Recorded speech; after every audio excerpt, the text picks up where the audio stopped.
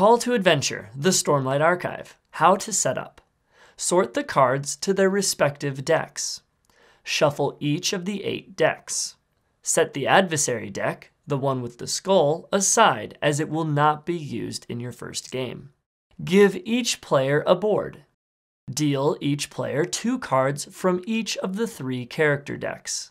Each player looks at these six cards and places one bronze origin card face up in the left spot on their board, one silver motivation card face up in the center, and one gold destiny card face down on the right.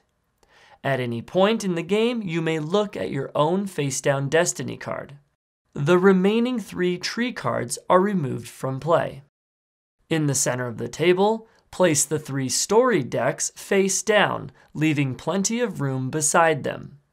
Place the hero deck and anti hero deck face down on the table.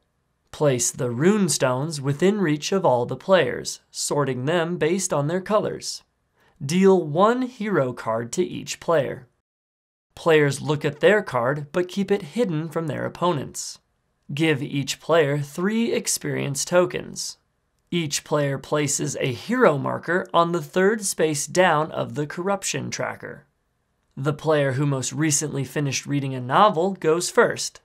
Once everyone is ready to begin, draw four cards from the Act 1 deck and place them face up on the table, adding a fifth card if playing a four player game. If you reveal any ally cards, the first player places them underneath any face up challenge card so the top of the card is visible. You may only have one ally per challenge, and if there are no more available challenge cards, discard the ally to the box.